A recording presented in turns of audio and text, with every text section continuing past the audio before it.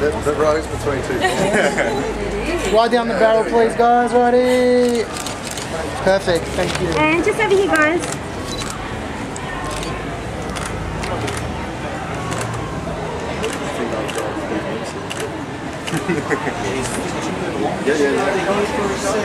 When you guys are done, can we get a couple of singles? When you guys are finished in the groups, yeah? Well done. Well done. Just ask him. They're more than happy to. I'll ask him something too. I'll, get, I'll, I'll say something and get him looking. They don't need to. They'll do by themselves. No, no. You better run that area. Yeah, yeah, just split and swap. Yeah, that'd be great. Thanks, guys. Perfect. Oh, good. Mates, right down here.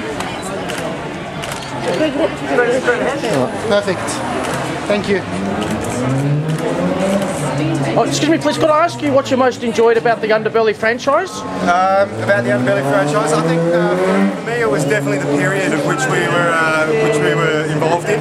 Um, you know, the uh, 1920s was you know a great period back in there back in the day, and you know I think to be in a period piece is uh, extremely different to you know uh, any of the others that have gone on. So Thank you. and then watching it afterwards, you know, it, it just lays itself out beautifully on the, on the screen. So I think the period itself is fantastic. Would you say like authentic or believable? authentic, believable, but also the story behind it all. I mean, back in the day, that's that's historical, and I think um, people enjoy that sort of thing, uh, knowing what happened in the past and seeing it come to life. Yeah, it's part of Australian history. All right, thank